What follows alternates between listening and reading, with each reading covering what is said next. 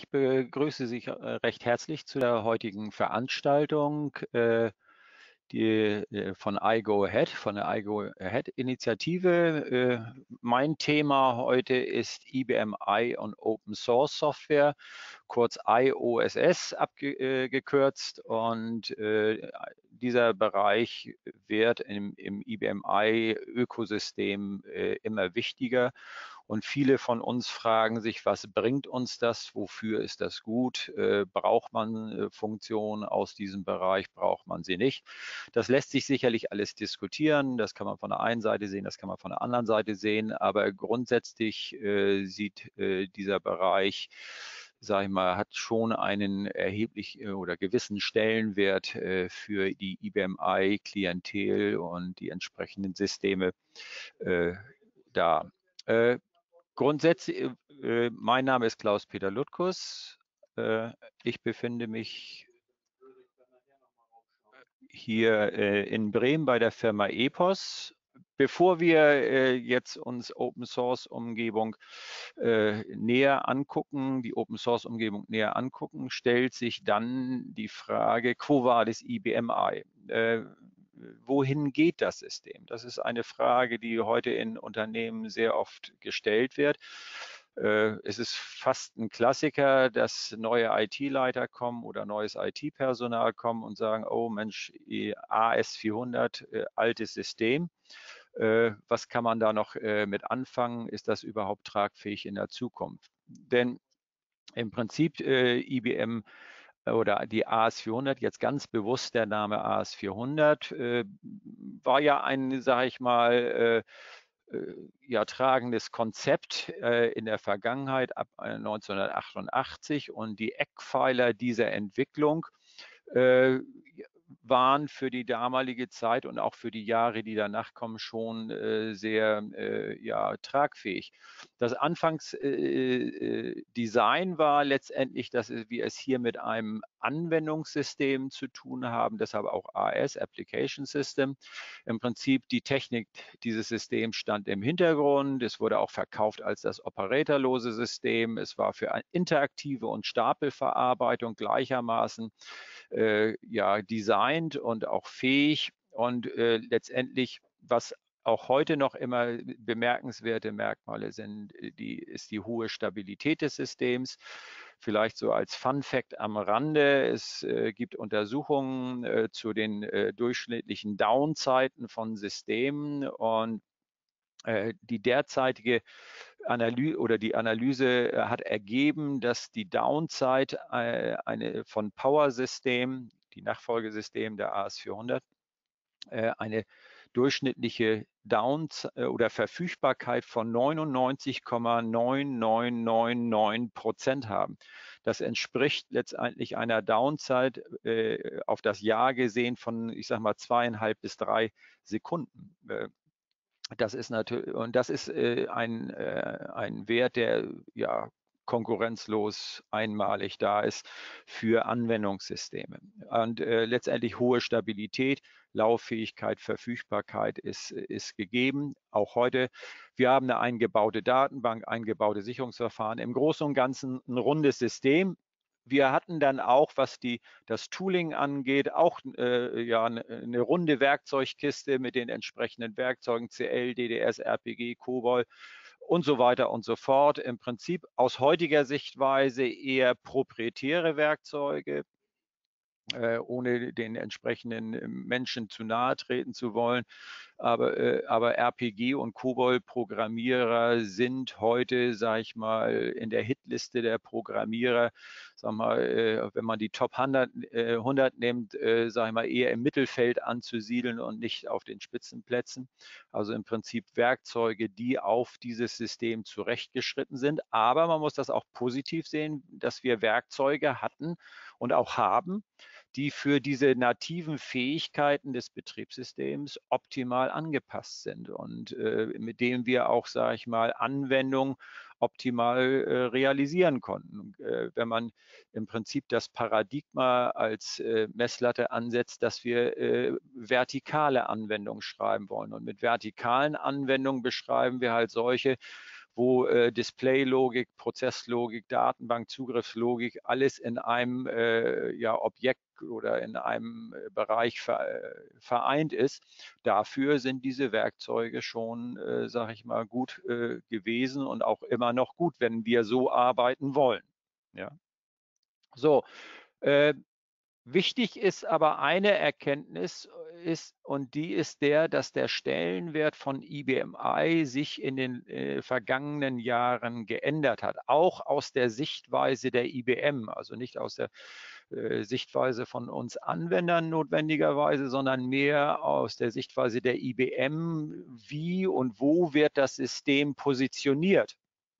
Und im Prinzip, wenn wir heute uns die Systemlandschaften angucken oder die Systeme als solches angucken, dann unterteilt die IT-Wissenschaft die, die Systeme in zwei, sage ich mal, große Familien. Das eine sind die System of Record und das andere sind die System of Engagement.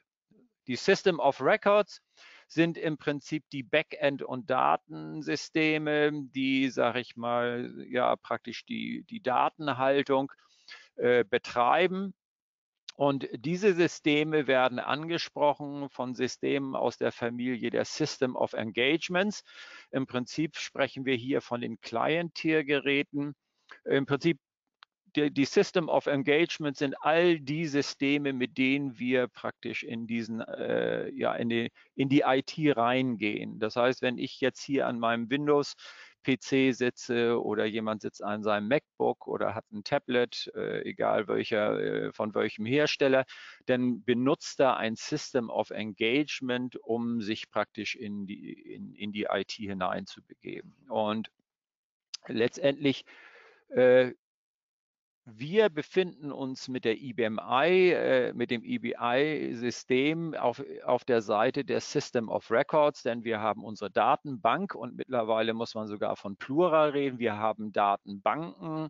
Wir stellen auch andere Datenquellen bereit, wie das Integrated File System. Wir können äh, transaktionsbasierte Dienste ausführen, sprich RPG, COBOL-Programme ausführen.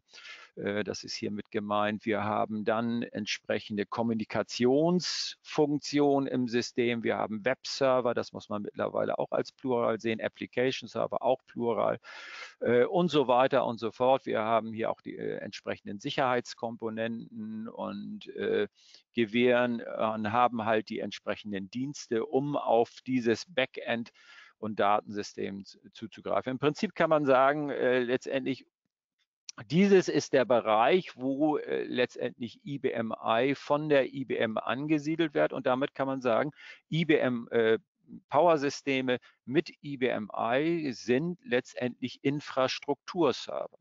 Und damit stehen sie auch in einem ganz anderen Konkurrenzfeld als, sage ich mal, anfänglich. Damals war, als äh, das System noch AS400 war, hat es ein, ein ein Alleinstellungsmerkmal per se gehabt, dadurch, dass es ein Anwendungssystem war, operatorlos und so weiter und so fort, das, was ich eben beschrieben hatte. Äh, jetzt sind wir Infrastrukturserver und treten in Konkurrenz, meinetwegen mit Systemen, auf denen Oracle-Datenbanken laufen oder andere Datenbanken laufen. Oder wir äh, treten in Konkurrenz mit Systemen, wo auch Webserver drauflaufen und so weiter. Und da stellt sich natürlich die Frage, äh, ja, wie äh, stehen wir äh, letztendlich zu diesen Diensten? Sind wir da konkurrenzfähig oder sind wir nicht konkurrenzfähig? Äh, als IBM-I-Mensch sage ich natürlich, ja, natürlich sind wir konkurrenzfähig und wir sind zum Teil auch besser als andere Systeme. Aber wie dem auch sei, wir haben diese ganzen Dienste on board und ob wir sie nutzen, ist eine ganz andere Frage. Aber letztendlich die äh, IBMI ist ein Infrastrukturserver. Und bei den Client-Tier-Geräten, da sind, wie ich eben schon sagte, das sind alles die Geräte, die, äh, mit denen wir uns in die IT reinbegeben. Und da gehört IBMI halt eigentlich nicht mehr zu. Jetzt könnten Sie sagen, ja, bei uns ist es so, wir haben grün-schwarze Anwendungen noch am Laufen oder wir haben sie schon lange laufen und werden sie auch weiterhin betreiben dann ist so ist natürlich Ihr IBMI-System für diesen Anwendungskreis auch ein System of Engagement. Aber diese Rolle wird quasi von der IBM nicht, äh, sage ich mal, äh, in den Vordergrund gestellt und ist auch nicht in, in der Zukunftsplanung drin. Ich hatte gerade letztens ein, ein Erlebnis in diesem Bereich. Äh, da hatte ich für ein Unternehmen eine Expertise geschrieben zu, zu dem Thema Quo Vadis IBMI. Und als ich dann dieses äh, erklärt habe, was ich Ihnen jetzt kurz geschildert habe, da hieß es dann, ja, wenn denn IBMI in Zukunft nur ein Infrastrukturserver geht, wird denn COBOL verschwinden, wird RPG verschwinden, wird 5250 verschwinden? Mit Sicherheit nicht. Denn äh, IBM betreibt ja äh, diesen Bestandsschutz oder den Investitionsschutz sehr, sehr vehement. Und wenn man mal sagen würde, was würde es bringen, 5250 aus den Diensten von IBMI zu entfernen? Im Prinzip müsste man Stand heute sagen, ja, dann ist das System nicht kaum noch bedienbar oder überhaupt nicht mehr bedienbar. Denn 5250 ist für uns IBMI-Leute das, was für die Unix-Leute, äh, die, die, äh, ja, die, die Shells sind, also praktisch ihre Betriebssystemoberfläche, das, was für die Windows-Leute äh, meinetwegen die PowerShell ist. Und das ist für uns 5250, also auf der administrativen Ebene grundsätzlich wird äh, 5250 immer eine Rolle spielen, sonst könnten wir das Betriebssystem überhaupt nicht richtig steuern, selbst wenn wir in Dinge reingehen wie Navigator VI oder ähnliches. Diese Tools bieten uns nur einen Teilbereich dessen an, was machbar ist. Und äh, von daher 5250 wird sicherlich äh, nicht verschwinden, solange es diese, äh, das IBMI-Betriebssystem gibt. Und wir haben derzeit eine Perspektive der Weiterentwicklung. Äh, bis 2032 oder 2033 wird dieses Betriebssystem weiterentwickelt. Ja, also von daher aber wir sehen, äh, der, der, Stellenwert des Systems verändert sich. Wir haben die unterschiedlichsten Dienste auf dem System und mit denen müssen wir äh, letztendlich zurande kommen. So, das heißt, wo liegt der Fokus für IBMI? Einmal auf der DB2-Datenbank. Da das ist ja der, der, momentan der zentrale Bereich unserer Datenhaltung. Hier speichern wir strukturierte Daten ab, aber wir speichern auch mittlerweile unstrukturierte Daten ab, sprich Dokumente. Wir können in der Datenbank XML-Dokumente, JSON-Dokumente, eigentlich alles, was den Rang eines Dokuments hat, können wir über entsprechende Datentypen in der Datenbank speichern. Wir müssen diese Daten bereitstellen über Transaktionen. Das können wir über SQL machen. Das können wir aber auch über RPG COBOL machen. Äh, wir können dann das, diese Transaktion auch in Services einbinden, von aus der SQL-Seite heraus, auch aus der, äh, der Seite der äh, ja, äh, ja, traditionellen äh, Programmiersprachen. Wir haben dann Datenanalysefunktion in der Datenbank, Online-ULAP-Funktion. Wir haben entsprechende Tools, um die Daten abzufragen, äh, kostenpflichtig halt äh, IBM Web Query. Wenn wir das nicht wollen, können wir uns äh, im Open Source Bereich durchaus bedienen und haben da auch entsprechende Tools, um äh, Daten aus der Datenbank äh, zu visualisieren. Also Datenbank ist letztendlich einer der zentralen Fixpunkte, äh, in die, äh, in die die IBM rein investiert. Und wir sehen das bei der DB2 und Sie werden das heute sehen, dass es auch noch andere Datenbanken gibt, in die quasi IBM rein investiert, dass sie äh, auf IBMI laufen. So, der zweite Bereich, und da kommen wir zu dem hin, was wir heute haben, ist, äh, der bei IBM eine äh, mittlerweile riesige Rolle spielt für, für die Zukunftssicht auf das System, ist der Open Source Bereich. Und da gibt es äh, im Großen und Ganzen drei Komplexe, wo Open Source Toolings eingesetzt, äh, Tools eingesetzt werden können. Das ist der Bereich der Softwareentwicklung.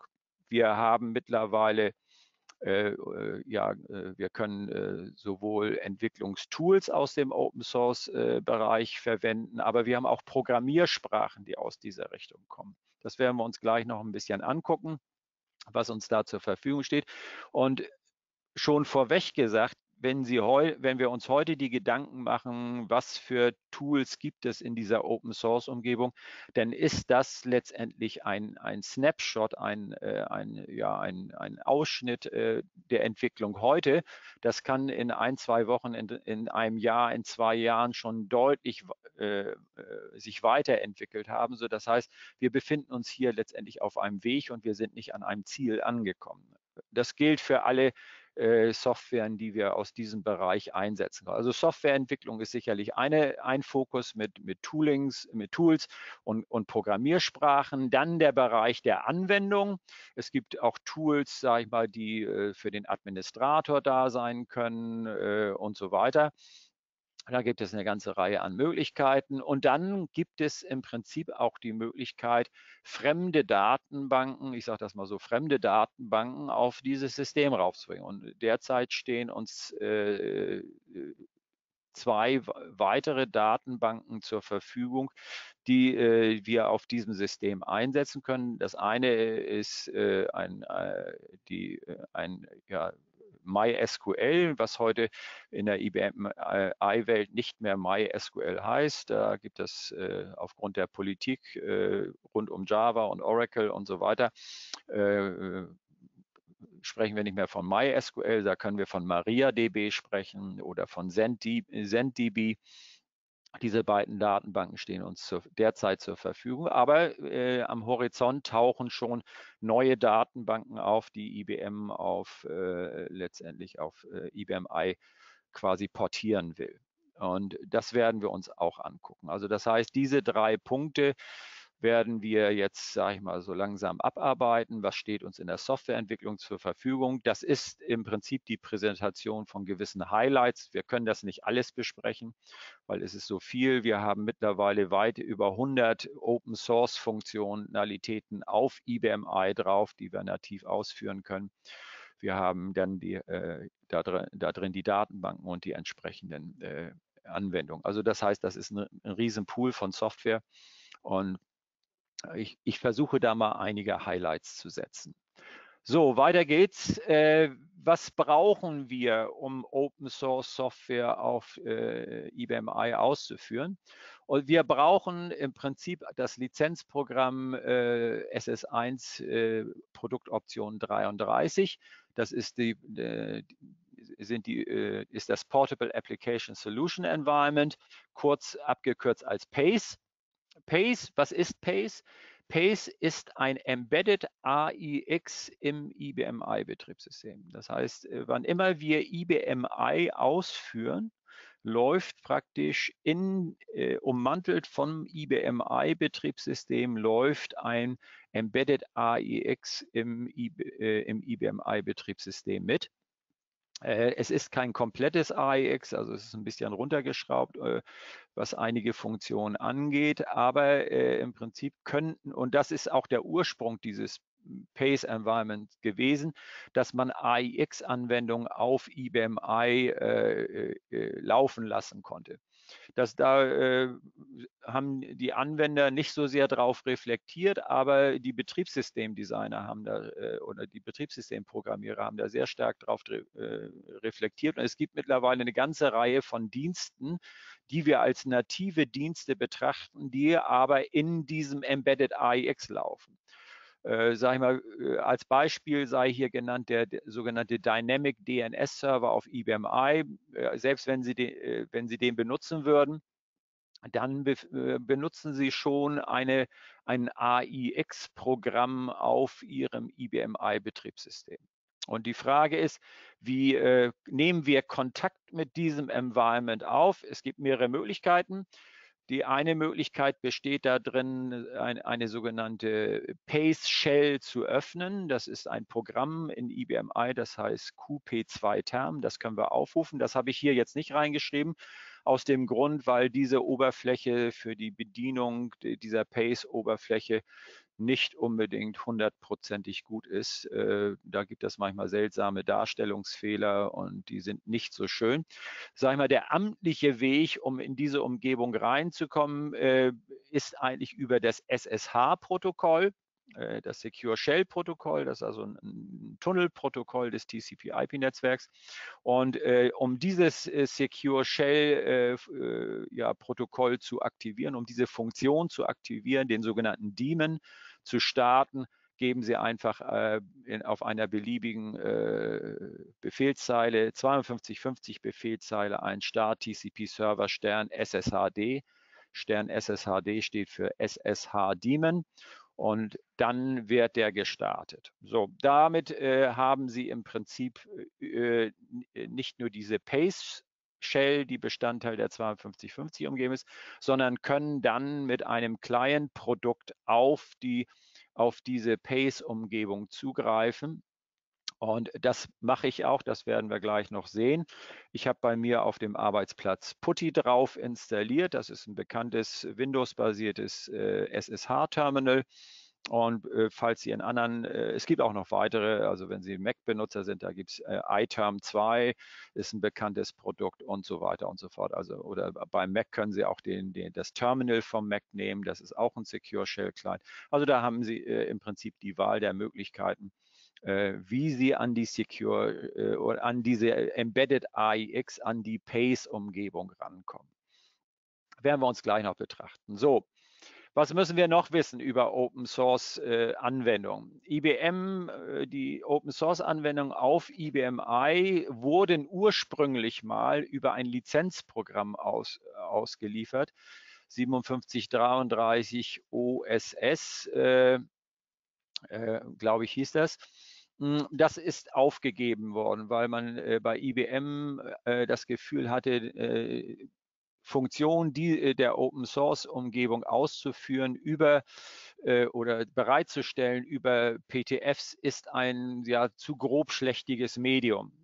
Und im Prinzip sind, äh, war diese Auslieferungsform auch nicht, sage ich mal, Open Source Ökosystem konform, weil die Open Source Leute äh, verpacken ihre Anwendungen in sogenannte Packages und, äh, und diese Packages werden dann quasi äh, veräußert. So, und äh, um jetzt mit Packages zu arbeiten, braucht man dann sogenannte Package Manager.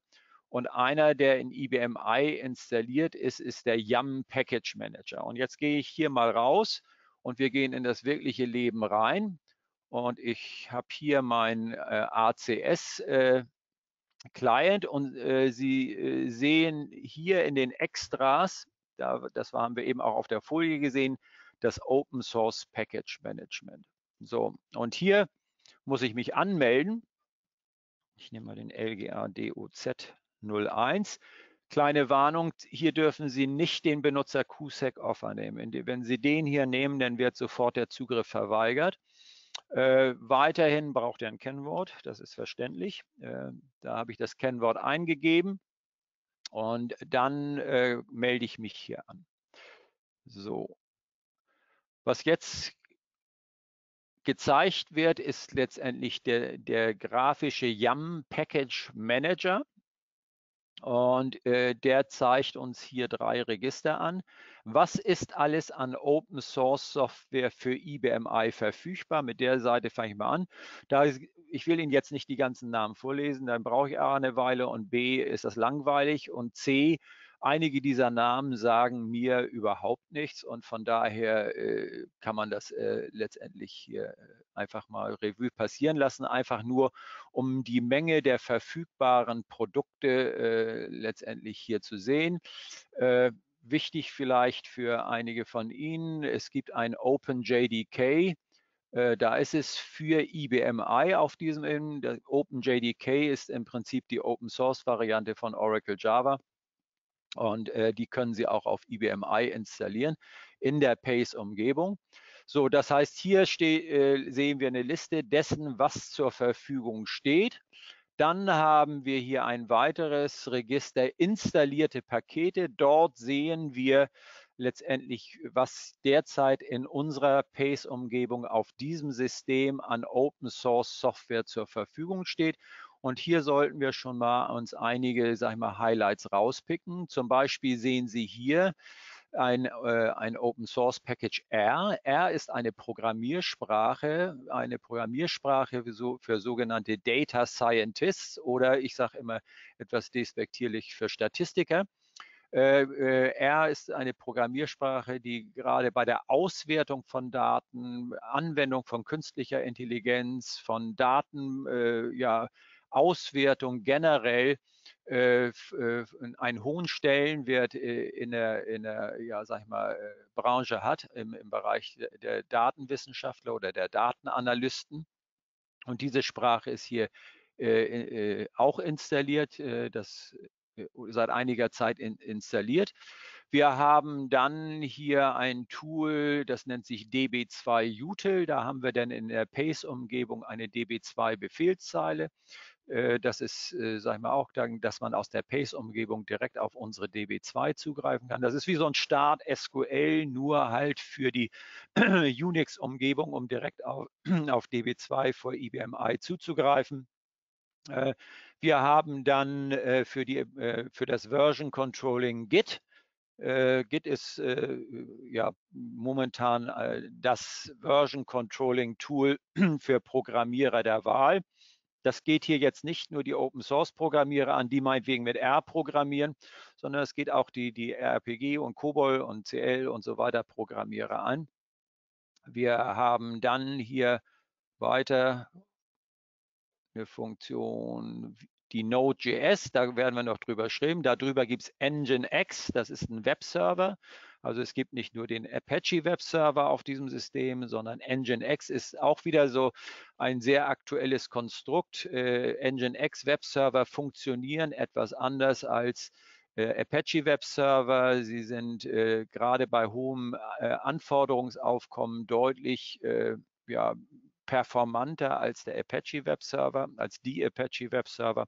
Und wir haben dieses Konstrukt auch hier. Node.js ist serverseitiges JavaScript.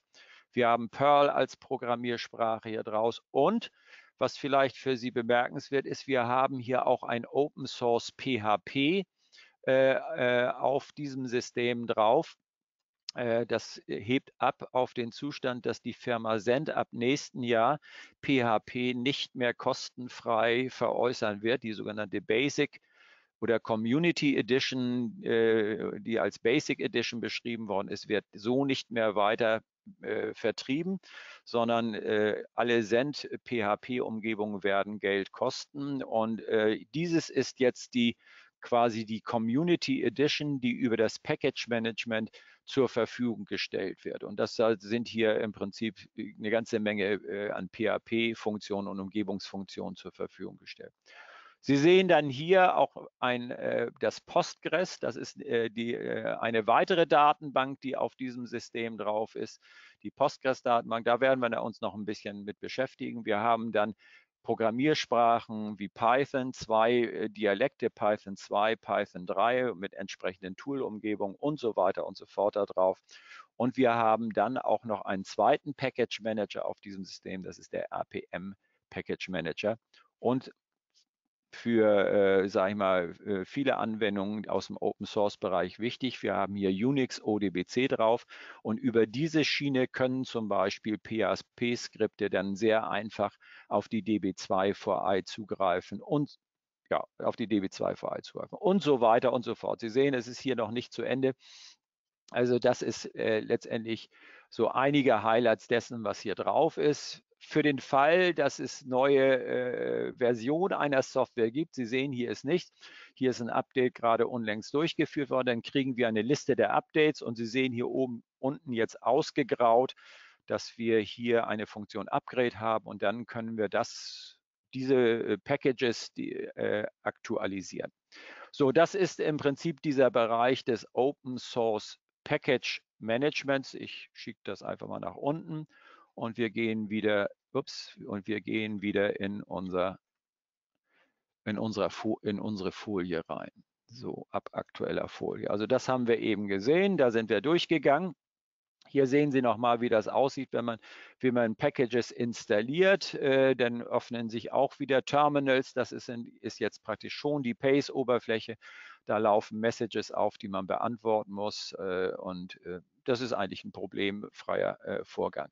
So, wie kommen wir jetzt an, äh, äh, an diese Pace-Umgebung rein?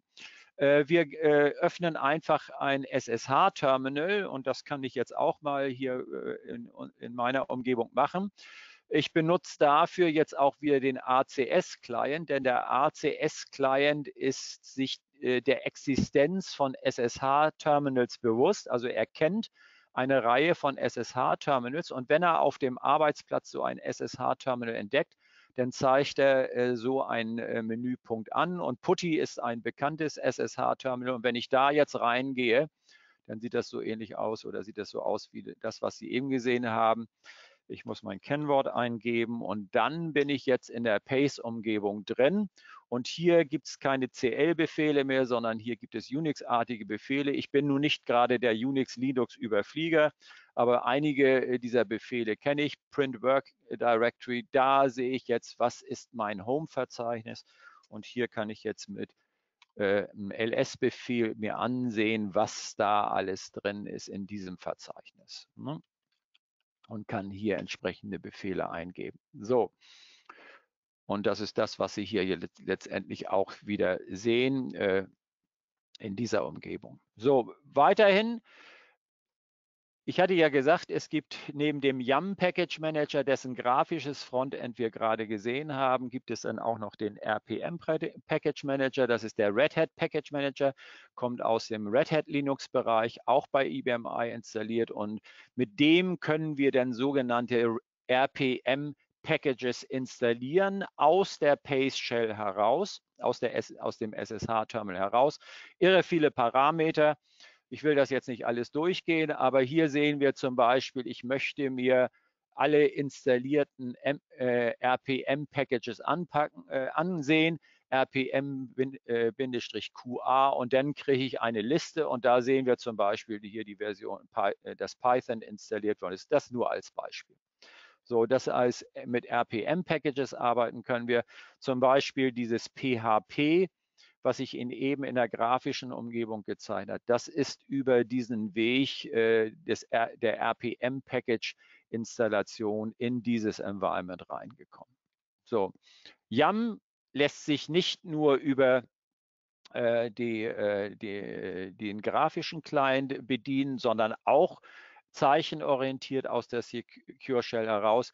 Im Prinzip äh, YAM besticht dadurch, dass es eine etwas stringentere Syntax hat. Sie haben eben gesehen, zeig mir alle installierten Pakete an, war rpm-qa. Das ist irgendwie ja, wenig, wenig sagen äh, oder eher nichts sagen.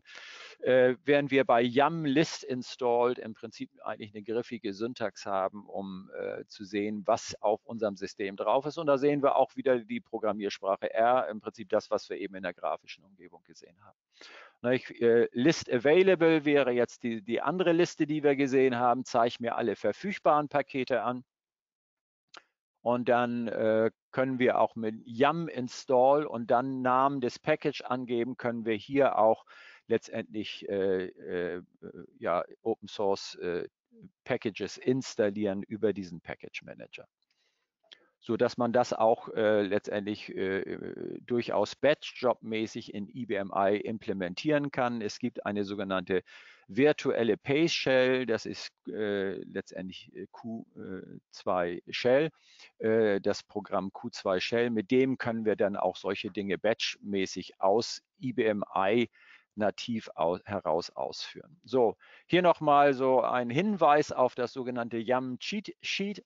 Äh, äh, im Prinzip eine Kurzliste der, der Befehlssyntax des YAM Package Managers. Äh, äh das äh, für den Fall, dass Sie da tiefer einsteigen wollten, sollten Sie sich das mal angucken. So, äh, wenn Sie jetzt mit der Pace-Umgebung arbeiten wollen, dann sollten Sie diese Umgebung ein wenig anpassen und vorbereiten auf die Arbeit mit, äh, äh mit diesen Open Source Packages. Denn diese Open Source Packages werden alle in einen bestimmten IFS-Pfad reingestellt und äh, diesen IFS-Pfad, den sollten Sie dann für Ihre Umgebung, sage ich mal, als Standard setzen. Ähnlich wie Sie bei, der, bei IBMI eine Bibliotheksliste setzen, wollen Sie hier praktisch den Standardpfad für, für sich setzen oder für äh, Benutzer setzen. Und das realisieren wir damit, dass wir in unser Home-Verzeichnis auf IBMI, ich bin jetzt angemeldet als LGA DOTS 01, dass ich in diesem LGA DOTS 01 Verzeichnis eine, eine Textdatei erzeuge, die muss von der äh, muss CCS-ID mäßig UTF-8 sein. Eine Datei, die so, muss heißen .profile Und in dieser .profile-Datei sollte ich einige Einträge machen. So zum Beispiel habe ich hier gesagt LC All. Hier geht es um die Spracheinstellung. Das ist eine äh, Umgebungsvariable LC All. Die habe ich hier gesagt, setze die auf C. Das bedeutet, keinen spezifischen Wert einbringen. Nimm die Defaults des Betriebssystems. Und dann wird diese Variable exportiert und dann äh, steht sie in meiner Sitzung zur Verfügung. Das ist der erste Schritt, den Sie machen soll. Wenn Sie darauf bestehen, Sie sind auf dem englischsprachigen System, in dem Deutsch als Sekundärsprache installiert worden ist, dann könnten, und Sie wollen in der PayShell Deutsch als Sprache haben, dann könnten Sie LCL, äh, LCL All auch auf DE-DE -DE setzen und wenn Sie dann noch sagen, äh, in der Shell sollen UTF-8-Zeichen angezeigt werden, dann würden Sie sagen de klein de unterstrich groß de UTF8, dann zwingen Sie praktisch diese Zeichenkodierung, erzwingen Sie diese Zeichenkodierung für Ihre Sitzung. Weiterhin, was überaus wichtig ist, die Path, die, äh, die, die, Anpassung des Paths und zwar alle Open Source Packages befinden sich in dem Pfad QOpenSys PKGS bin. Das ist der zentrale Pfad aller Open Source Packages. Und dieser, äh, da modifizieren Sie die Standardeinstellung der Umgebungsvariable Path und äh, äh, exportieren das auch. Und das nächste ist jetzt optional. Sie können dann die Bash Shell auf äh, erzwingen bei Ihrem, äh, ja, klein, äh, bei Ihrem SSH-Terminal Aufruf, sodass Sie direkt in die Bash Shell. Die Bash Shell gilt momentan so als die, die Shell, die man äh, einsetzen muss. So, wenn Sie in der Bash Shell arbeiten, können Sie für diese Bash Shell auch noch weiterführende Anpassungen machen und dafür müssen Sie eine zweite Textdatei einlegen, die heißt .bash-profile. Da kann man im Prinzip die Farben anwählen in der Bash Shell, da kann man die Zeichendarstellung der Bash eine Aliasse vergeben und so weiter und so fort. Da kann man eine ganze, eine ganze Menge machen. Aber da, da verzichte ich jetzt mal drauf, das zu zeigen. So, das heißt, ich bin jetzt hier in meinem äh, Terminal drin.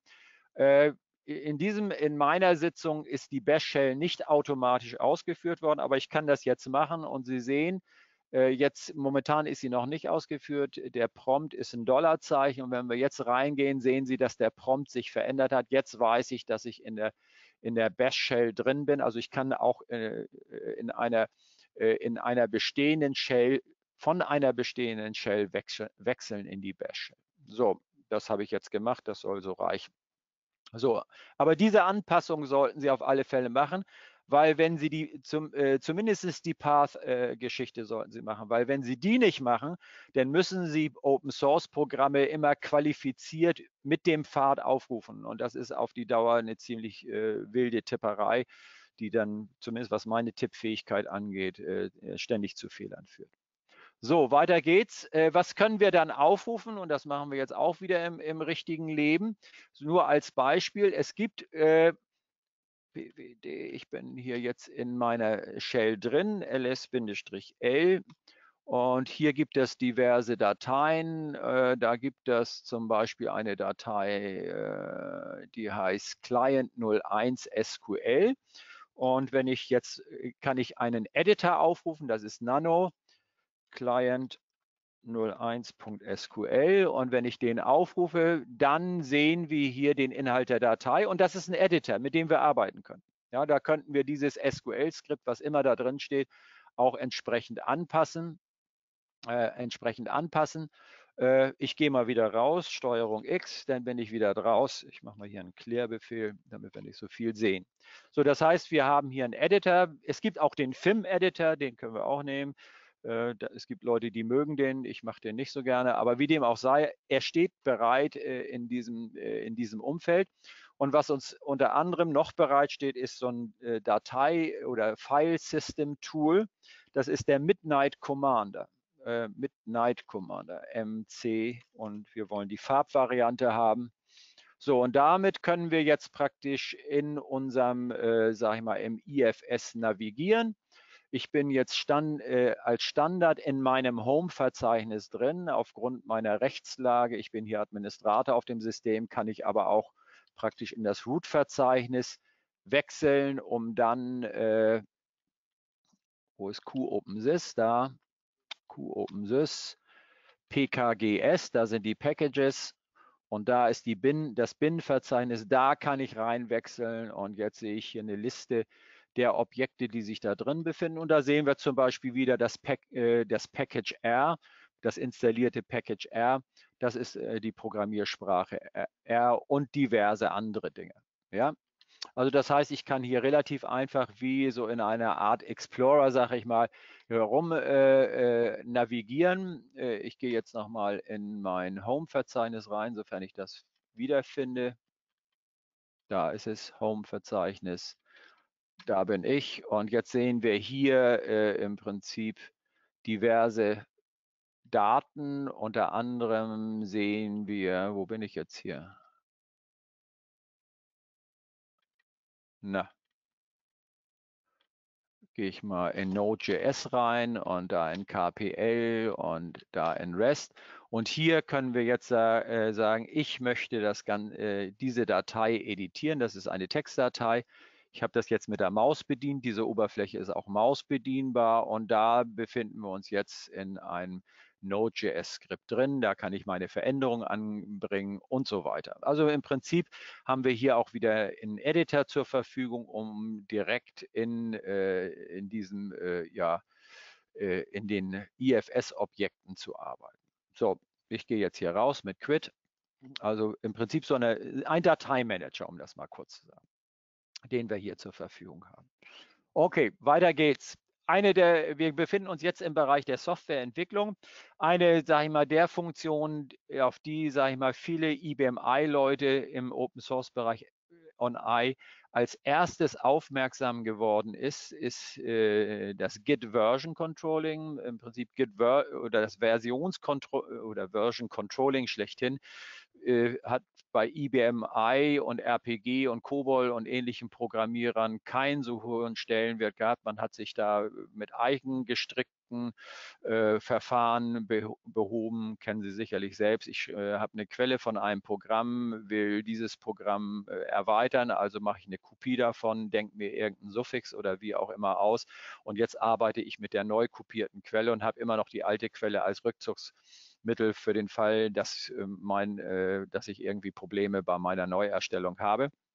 Das ist selbstgestricktes Version Controlling gewesen, hat sicherlich für viele funktioniert, aber wir sind heute im Bereich von DevOps, da wird nach, der Herr Blamey nachher uns noch was drüber erzählen. Und zum DevOps-Vorgang gehört im Prinzip die Formalisierung einer Programm äh, Programmierungsumgebung und auch das Version Controlling dazu. Und derzeit, sage ich mal, die, äh, ja, die heiße äh, Nummer da ist das äh, Git Version Controlling. Git Version Controlling besticht dadurch, dass es ein sogenanntes verteiltes Version Controlling ist. Bei äh, Version Controlling brauchen wir immer ein sogenanntes Repository. Und im Prinzip beim Git Version Controlling sieht es so aus, dass jeder Arbeitsplatz sein eigenes Version Controlling hat und dass äh, letztendlich wir dann mit einem zentralen Serverrechner äh, kommunizieren können, wo praktisch unsere Produktions, ich sage das mal so, produktionsreifen Quellen legen können und wir uns immer dann, wenn wir ein neues Projekt beginnen, aus dem Servercomputer, äh, sage ich mal, bestimmte Daten rausziehen äh, und äh, dann, wenn wir fertig sind, sie auch wieder reinstellen und dann können die anderen Teilnehmer unseres äh, Programmiererteams auch darauf zugreifen. Das ist ein Bild, wie zentrales Version Controlling aussehen kann, aber man könnte auch auf den zentralen Server verzichten und könnte sagen, ich habe zwei Programmierer im Haus, jeder hat sein Repository und auf der Repository-Ebene können dann die beiden Rechner miteinander kommunizieren. Das heißt, dass der, äh, der Computer B und der Programmierer dort sich, sag ich mal, aktuelle Quellen vom Computer A abholt und umgekehrt und so weiter. Das ist im Prinzip das verteilte Version Controlling, was ich mit äh, mit, äh, mit Git, was man mit Git implementiert.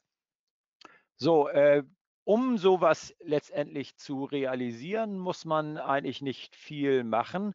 Alles, was ich brauche, ist letztendlich, äh, dass ich ein, im IFS ein Verzeichnis anlege. Sie sehen hier in dem Beispiel gibt es den Pfad Repositories Tutorials. Und da erzeuge ich ein neues Verzeichnis, das heißt hier jetzt Git VCS.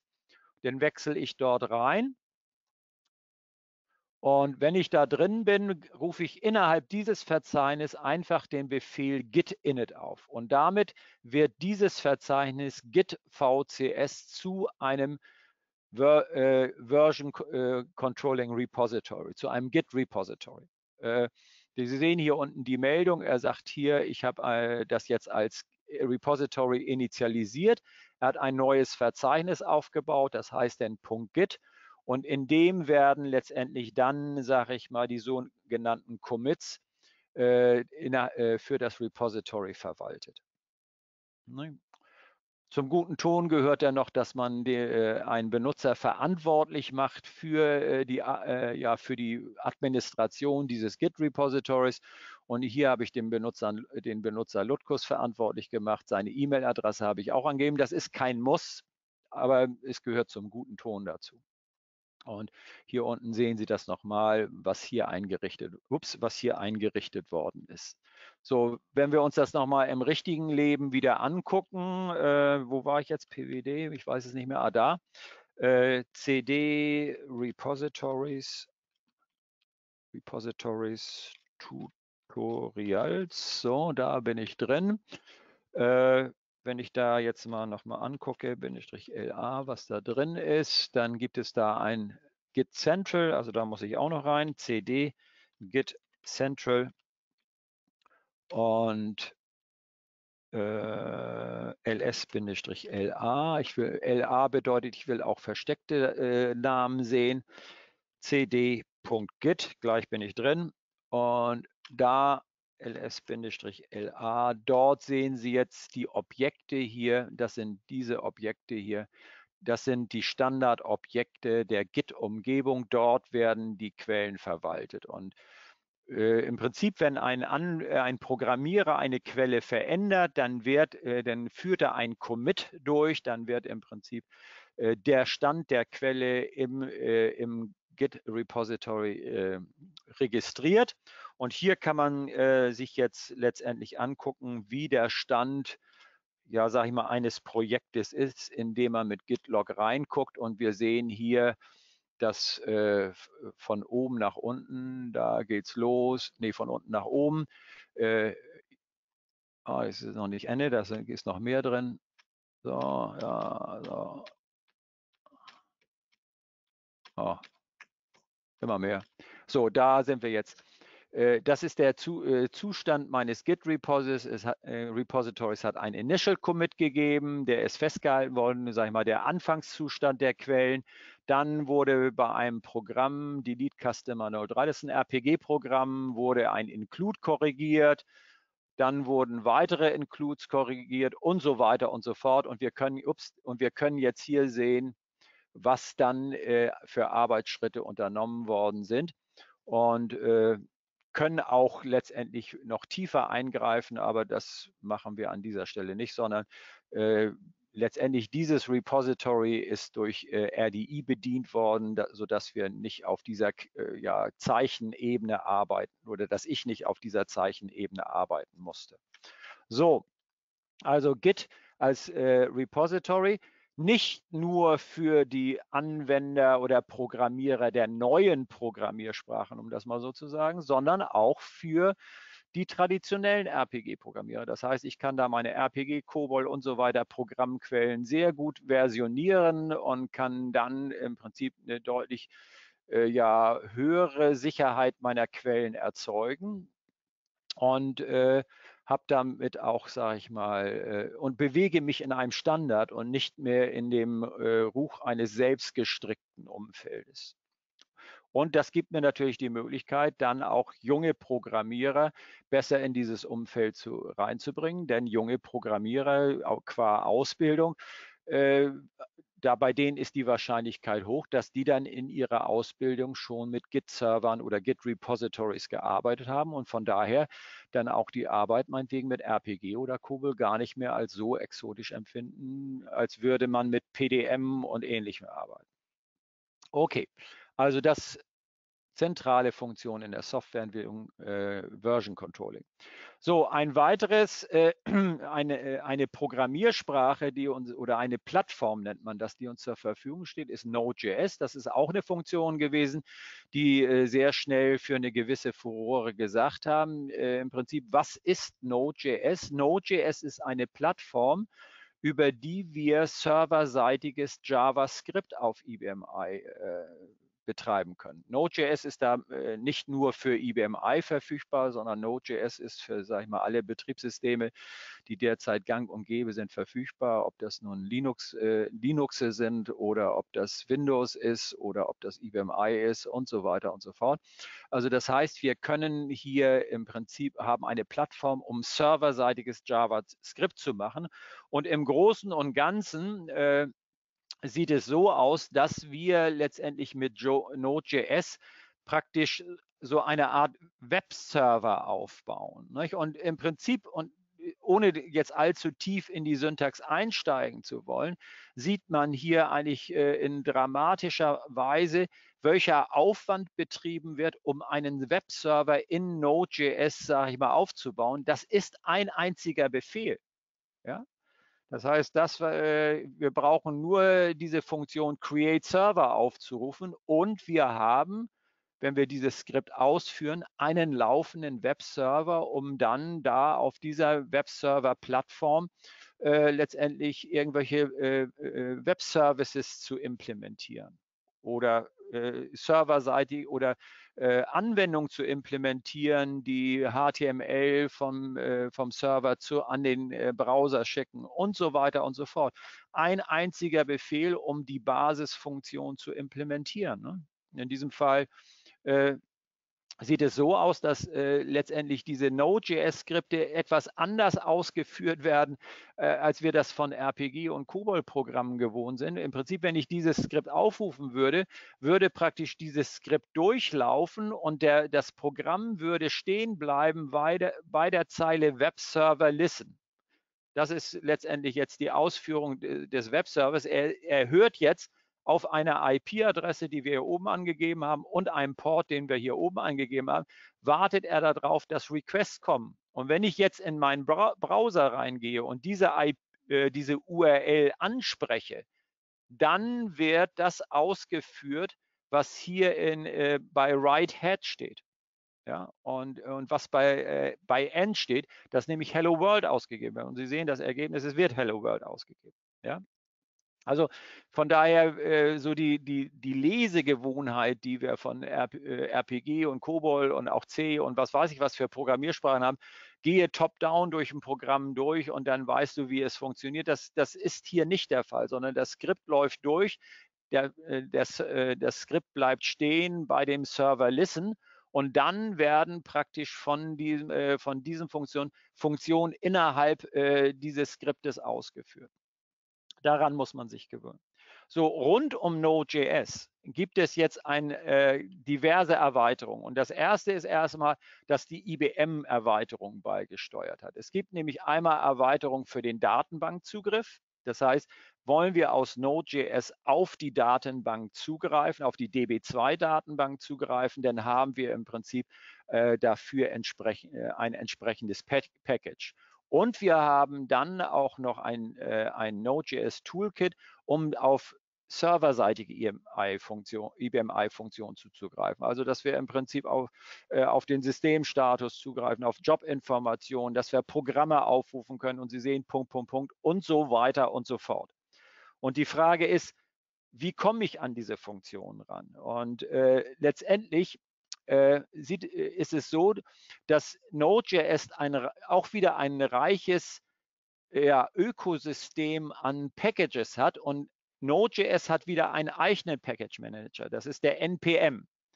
Und welche Packages für Node.js zur Verfügung stehen, das finden wir auf der Homepage äh, npm.js.com. Äh, und da können wir dann nach Funktionen suchen und eine, sage ich mal, zentrale Funktionalität ist das sogenannte Express Packages, welches die Erstellung von Webanwendungen, ich sage mal, dramatisch erweitert. Also als ich diese Folie gemacht habe, müssen Sie sich vorstellen, da war der Weekly Download für dieses Package 11.097.654 Downloads. Da können Sie sich äh, vorstellen, wie beliebt das Ganze ist. Ja? Hier äh, weiterhin sehen Sie letztendlich hier ein kleines Beispiel, wieder ein Hello World Beispiel. Das ist praktisch das, das Partnerbeispiel zu dem, was ich Ihnen eben gezeigt habe. Aber es sind noch weniger Zeilen als eben. Ja? Und hier sieht man dann im Prinzip, wie man das Express-Package installiert, indem wir äh, in der Pace Shell eingeben npm install express und dann wird das installiert. Ja? Äh, hier kann man auch nach weiteren Packages suchen, nach dem iToolkit kann man suchen und so weiter und so fort. Also es wird hier, äh, das ist ein zentrales Repository, in dem die äh, Node.js Packages verwaltet werden und wo wir einen reichen Fundus an Funktionen haben. Das äh, endet äh, nicht bei den IBMI-Funktionen, sondern Sie können Funktionen suchen, mit Node.js meinetwegen Excel-Dokumente zu erstellen und so weiter und so fort. Wahnsinnig viele Möglichkeiten, die hier drin stecken. So, wir gucken uns mal jetzt noch mal ein etwas solideres Beispiel ganz kurz an, lassen sich nicht durch die Syntaxen, sage ich mal, über, überfallen. Aber äh, letztendlich hier sehen Sie einen Web-Service-Server, den ich aufgebaut habe, der auf die Datenbank zugreift und äh, der dann, äh, sage ich mal, SQL-Zugriffe auf die Datenbank macht, die wir dann über einen Web-Client abfragen äh, können. Und äh, ich habe hier im Prinzip einmal dieses Express-Packages, äh, Express-Package inkludiert.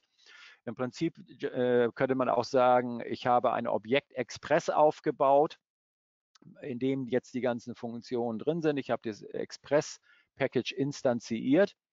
Äh, weiterhin äh, habe ich hier den IDB Connector, das ist der IBM äh, der IBM DB2-Zugriff, den habe ich hier auch äh, reingebracht in die ganze Sache. Dann habe ich hier eine Variable oder eine Konstante, das ist mein Basis-SQL-Befehl, den ich ausführen will. Das ist hier jetzt der Aufruf einer Stored Procedure.